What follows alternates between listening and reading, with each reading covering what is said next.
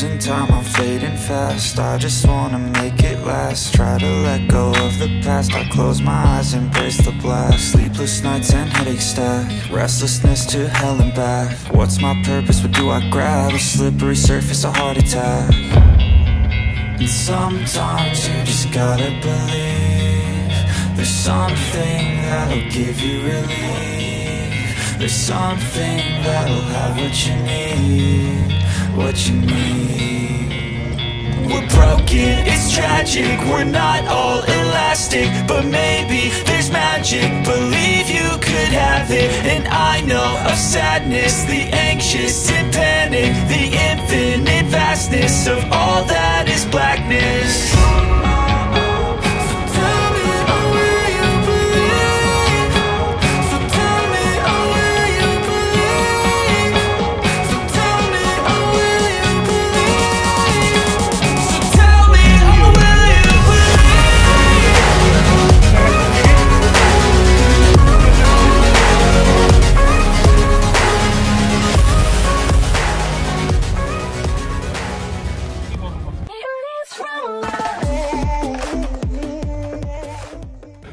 Oke guys, sebelum kita masuk ke pintu masuk universitasnya, inilah uh, lingkungan tempat mahasiswa. Jadi di sini kita mendekati dengan Sungai Thames. Maksudnya universitasnya itu nggak jauh dari dari kapal ini. Dan di situ ada jembatan tunnel. Saya sudah pernah bikin videonya ya. Di situ ada Canary Wharf Bank of Dunia. Di sebelahnya ada Sungai Thames. Dan universitasnya ada di sana. Oke assalamualaikum warahmatullahi wabarakatuh. Salam sehat semuanya untuk kalian yang menonton channel saya. Jangan lupa dipencet tombol subscribe nya di like di komen ya. Hari ini kita mau mereview kampus kampus ternama yang ada di London yaitu Universitas of Greenwich ya guys ya. Ini kita sudah berada di depan kampusnya. Bentar lagi kita mau masuk kita mau acak-acak kita mau melihat-lihat kita mau melihat sejarahnya kita mau melihat isi dalamnya kayak apa apakah kampus-kampusnya itu sama dengan di negara kita. Maka dari itu ikuti saja perjalanan saya jangan di skip-skip beritahu yang lain di share ke teman-temannya di like di komen dan yang masih tombolnya merah dipencet dulu guys. Oke selamat menikmati perjalanannya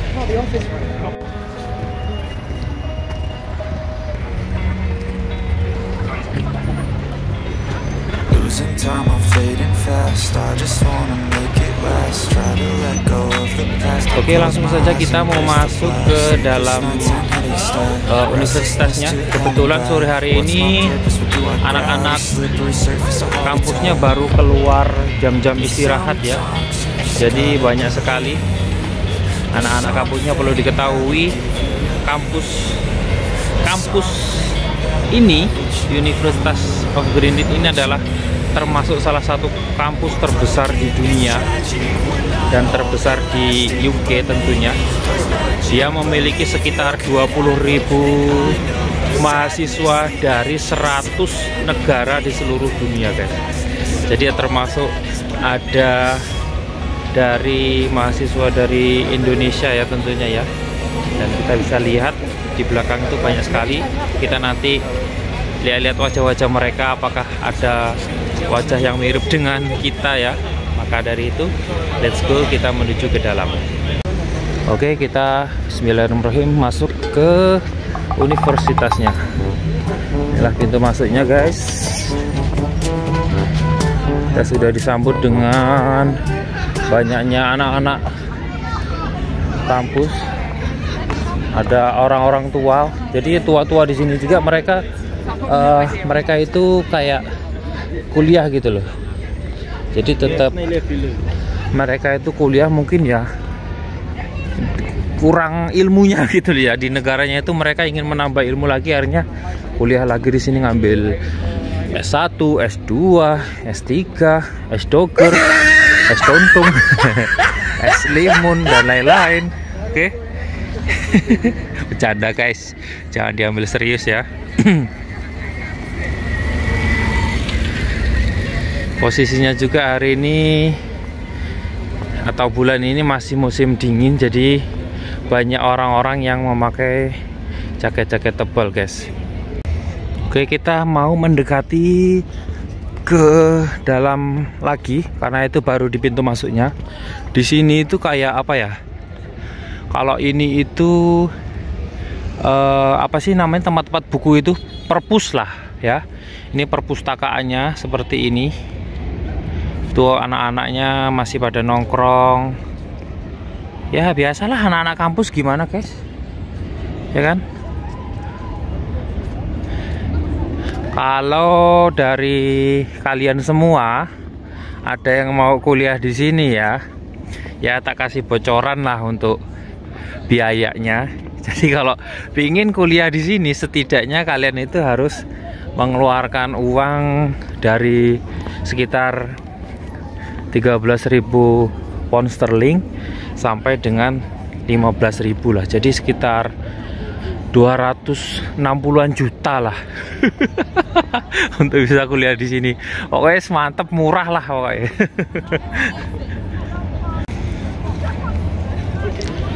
Guys, sore hari ini memang cuacanya lagi cerah sekali tapi tidak memungkinkan suhunya jadi panas ya. Jadi suhu itu tetap jadi dingin.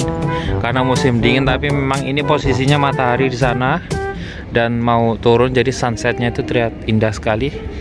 Dan di sana itu itu tunnelnya yang dulu aku buat video kemarin. Di sana dan tembusnya di sini guys. Jadi memang dengan dekat sekali dengan uh, universitasnya. Ini anjing lucu banget ini.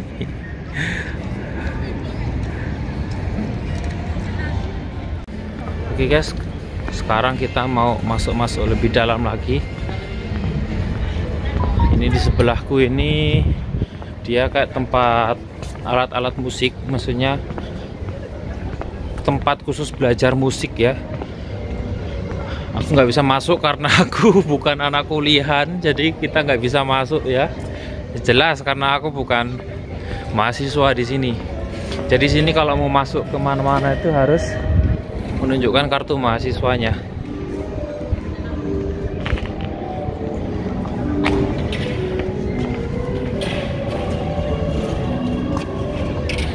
King Charles Court Trinity Laban Convention of Music and Dance Painted Hall Chapel. Dengar guys? Kalian guys?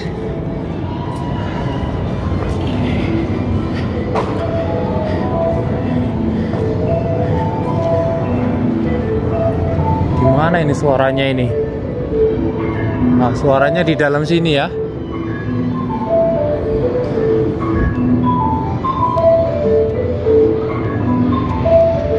Bahkan di sini juga ada alat musik tradisional dari Indonesia seperti angklung, seperti gendang-gendang, seperti yang orang main Sri Mulat itu loh yang ting dung ding dung ting dung dung ting dung dung dung dung dung dung. Pokoknya itulah yang buat jaran kepang itu di sini ada guys karena memang seni budaya di seluruh dunia alat-alat musiknya itu berada semua di sini. Nah ini terlihat di dalam ini ada orang main main biola main piano ya guys. Oke kita mau naik. Ya Allah ini bangunannya nih. Gila. Udah tua banget guys. Tapi bangunannya itu kokoh banget ya. Memang mereka itu membangun sekali seumur hidup untuk seterusnya gitu loh. Nih. Tuh itu sungai Thamesnya kelihatan. Di situ ada Canary Wharf. Nyebrang ke sana. Di sana ada tempat kerja kita. Eh, kita. Tempat kerjaku. Di sana. Dan kita mau jalan-jalan lagi mau muter-muter lagi siapa tahu ketemu cewek cantik guys Sana ada yang selfie guys. Ih. Ini sepertinya anak-anak kuliah dari India ini guys. Wajah-wajahnya dari India.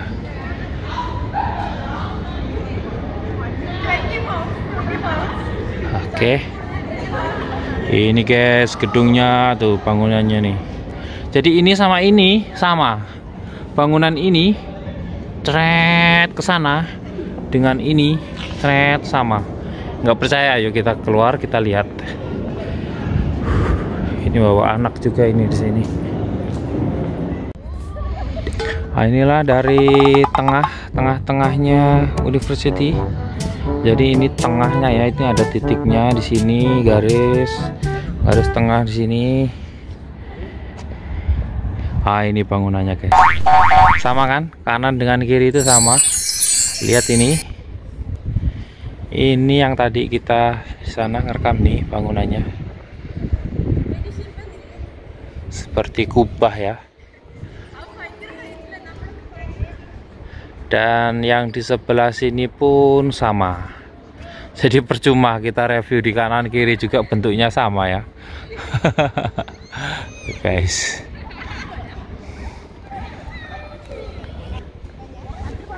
Kita sekarang ada di tengah. Aku nggak botong sih jadi tanganku hanya bisa sepanjang ini menjelaskannya. Dan posisinya juga sekarang lagi sore mau turun turun matahari sekarang jam setengah empat. Pas cuacanya juga lagi bagus mataharinya lagi cerah. Pokoknya tapi tetap aja dingin guys. Ini kita di tengahnya guys. Dan ini anak-anak mahasiswanya. Banyak sih dari luar guys. Jarang aku melihat bule ini. Pokoknya wajah-wajahnya ada wajah Asia ada wajah Kanada Meksiko. Aku udah bisa lah uh, apa menepak wajah-wajah oh ini orang-orang Turki oh ini orang-orang dari Chinese oh ini orang-orang dari Asia dari Thailand dari Malaysia dari Indonesia. Pokoknya kalau Indonesia itu ngelihat saya kadang matanya sudah mendapat debak ini orang ini orang Indo bukan orang Indo bukan gitu. Di sini juga biasanya untuk main teater sini guys. Jadi kalau ada peran-peran acting-acting nanti di sini pasang kursi-kursi dikasih apa namanya kayak tarup terus dibikin tenda dibikin panggung konser di sini guys. Jadi di sampingnya itu sungai kadang kalau pas ada kapal lewat cantik banget di sini. Oke. Okay? itu saja penjelasannya. Next time video selanjutnya saya akan buat video di sana guys jadi kalau kalian googling di Google googling ya Google ya. Universitas of Bernit itu kalian akan familiar dengan GMT atau Greenwich Mean Time. Jadi Greenwich Mean Time itu ya termasuk apa ya pusat jam dunia atau titik patokan patokan jam di seluruh dunia itu ada di ada di sini dan tempatnya ada di ada di sana guys. Nanti next video saya akan buat di sana guys ya. Karena bersebelahan dengan uh, universitasnya guys. Ya apa nggak adem gitu. Tapi jaketnya ditenteng sih. Tapi kalau nanti kedinginan dipakai lah. Guys pemandangannya cantik sekali uh tambahan ada matahari lagi. Turun itu guys.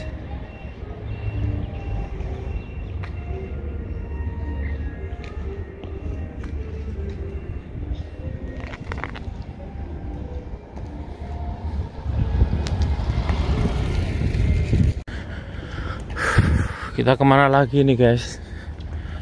Mahasiswanya pada keluar cari makan jadi sepi jam-jam istirahat sih memang ini. Dan di dalam kampus itu nggak ada orang yang jualan soto nggak ada jualan bakso ya. Semua harus keluar. Emang tempatnya itu seperti ini di luar negeri.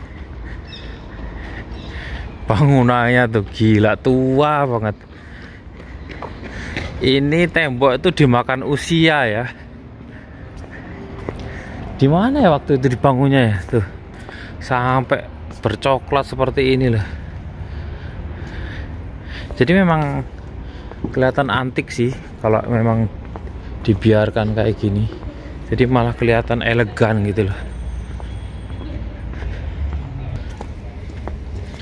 Waduh guys ada ada penjaga ada ada ini ada satpam. Ah nggak boleh ngerekam-ngerekam ini waduh nanti ketahuan aku bukan anak kampus disuruh keluar. Jadi kita balik lagi guys ya. Oke di sana guys. Di belakang ada ada satpam tadi nyuruh naruh HP-nya jadi nggak boleh ngerekam-rekam. Jadi kita balik aja nggak bisa ke sana karena ada yang jaga di situ. Jadi kita balik lagi aja. Ya hanya itu sajalah yang bisa saya publikasikan ke kalian semua. Semoga menjadi wawasan. Aku pun nggak tahu apa yang aku ceritakan sebenarnya. Mungkin itu ada salahnya ada benarnya karena ya aku bukan mahasiswa di sini. Jadi aku nggak tahu jelasnya detailnya kampus ini bagaimana ya. Ya itulah tadi yang sudah saya jelaskan. Yang jelas kampus ini intinya kampus terbesar 10 besar di dunia dan termasuk mahasiswa terbanyak di dunia sekitar tadi berapa tadi? 20 ribuan. Dan menjadi satu-satunya universitas dengan mahasiswa terbanyak dari seluruh dunia sekitar 100 negara semua kuliah di sini. Bangga sekali bisa kuliah di sini ya Universitas of Greenwich Universitas Oxford dan London. Bah, kamu lulusan mana? Oxford. Kamu lulusan mana? Greenwich. Peh, lulusan mana? London. Mantap ya guys ya. Oke guys. Tanganku pegel guys. Aduh. Jaketnya berat banget ini guys. Gila ini jaketnya tebel banget. Jadi aku ngangkat tangan gini aja udah pegel. Jadi memang harus pakai tongsis ya. Tuh guys. Bangunannya kita berada di tengah di titik tengah ini ya nih. Kita di tengah-tengah ini. Nih. Dan ini ada patung. Jadi kita ini kalau dihitung ya kalau dihitung kalau di kalau dilacak ini kita di tengah ini kita termasuk aku di jalur bujurnya. Kalau di Indonesia itu aja ada di Kalimantan itu ada garis katulistiwa ya. Garis apa ya? Bujur melintang di sini. Lah kalau di sini itu garis patokan jam dunianya di sini ada garis. Jadi nol. Di sini nolnya itu di Inggris guys adapun satunya duanya itu. Nggak tahu nanti di mana nanti aku jelaskan ya guys ya. Oke itu saja guys. Sudah sore waktunya kita mau pulang. Cantiknya Masya Allah. oke guys terima kasih. itu saja reviewnya video dari saya. Jalan-jalannya karena saya sudah kedinginan. aku lupa nggak bawa sarung tangan guys ya jadi badan ini hangat tapi tanganku ini menggigil. Keras dia. Sakit banget di tangan. Karena memang dari tadi tanganku itu pindah kanan kiri pindah tangan kiri. Cuman buat ngerekam gini. Jadi itu kaku ya guys ya. Pokoknya nanti aku bikin rekaman video pakai sarung tangan lah jadi biar bisa nggak kedinginan guys. Oke itu saja video dari saya. Terima kasih sudah menonton video saya hari ini sampai bertemu di video selanjutnya. Terima kasih semoga kalian yang menonton video saya ini diberikan sehat selalu rezekinya lancar. Assalamualaikum warahmatullahi wabarakatuh. Bye bye